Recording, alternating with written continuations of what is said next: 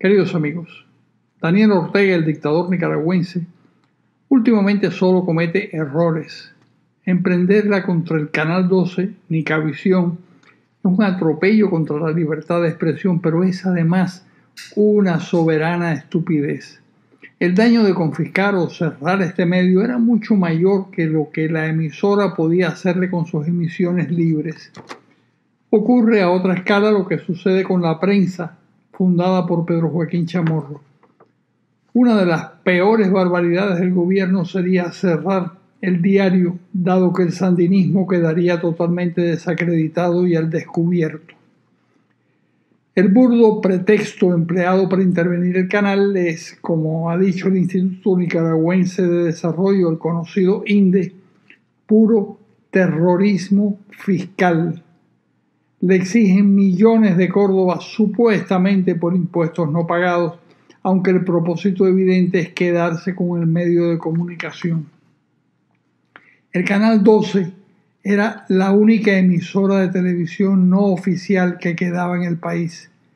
Eliminarla, como les ha sucedido a 20 medios de comunicación desde el 2014, pero especialmente desde el 2018, cuando comenzó la última y definitiva crisis, es un disparate garrafal.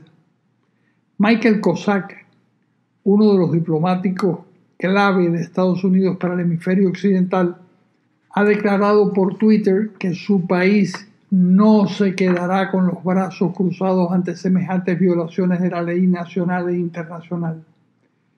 La Fundación Violeta Chamorro, con su inmenso prestigio, ha mostrado su solidaridad con el señor Mariano Valle Peters, propietario y presidente del canal el COSEP, es decir, todo el andamiaje de las empresas grandes, medianas o chicas, han respaldado un medio que está bajo ataque. En fin, no existe la Unión Soviética, Venezuela está totalmente arruinada y Cuba, un país totalmente miserable, no puede ayudarlos. El sandinismo se está dedicando a la extorsión para poder sobrevivir pero eso tiene límites muy claros.